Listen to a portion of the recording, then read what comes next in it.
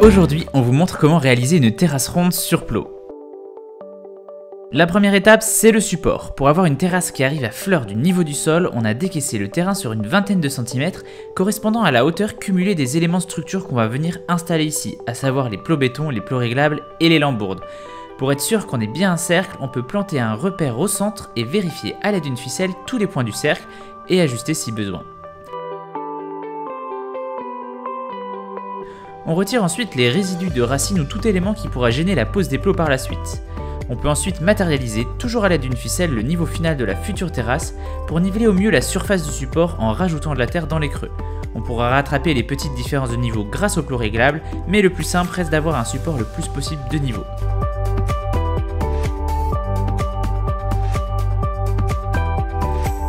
Une fois cette étape terminée, on va poser un géotextile sur toute la surface du support qui permettra d'éviter la pousse des mauvaises herbes sous la terrasse.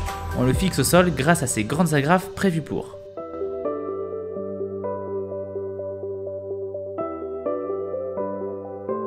On va ensuite poser au sol des plots béton qui vont permettre de créer un support pour les plots réglables qui vont soutenir les lambourdes.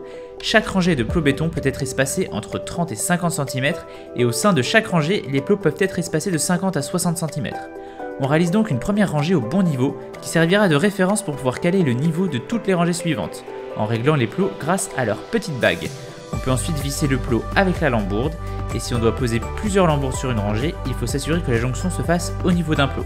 Une fois qu'on a notre rangée de référence bien calée, on peut venir disposer les autres rangées en s'assurant d'être de niveau sur la largeur et d'assurer une pente de 1% sur la longueur dans la direction d'écoulement des eaux de pluie.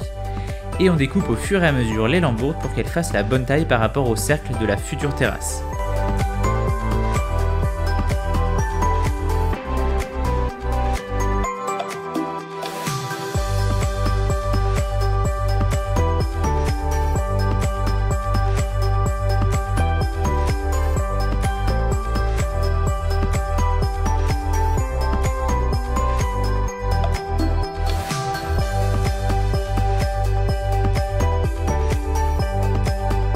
Ensuite, on aggrave des bandes bitumineuses qui vont permettre de protéger le bois de l'écoulement de l'eau.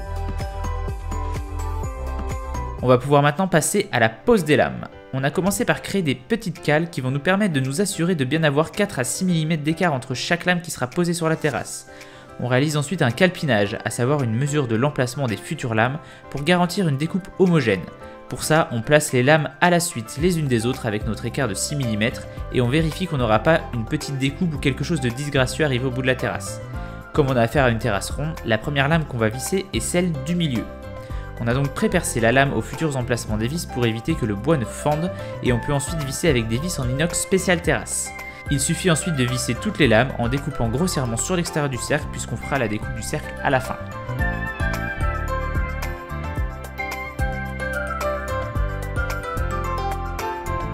Pour une bonne esthétique de la terrasse, on essaye de ne pas aligner les traits de découpe.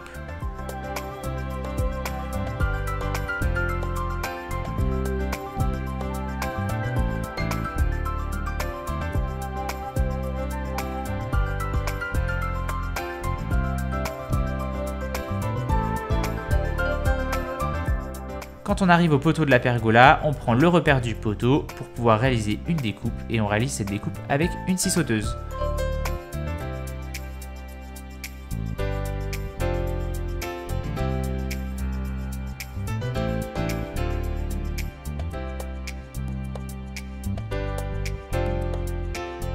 Une fois que la pose des lames est terminée, on plante un clou au centre de la terrasse pour pouvoir réaliser le tracé définitif du cercle de cette terrasse grâce à une ficelle attachée à un crayon.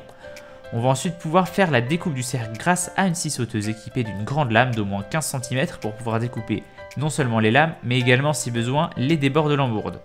Et on ponce légèrement nos découpes pour la finition. Et après aménagement, on a une belle terrasse ronde en îlot pour pouvoir profiter de l'extérieur.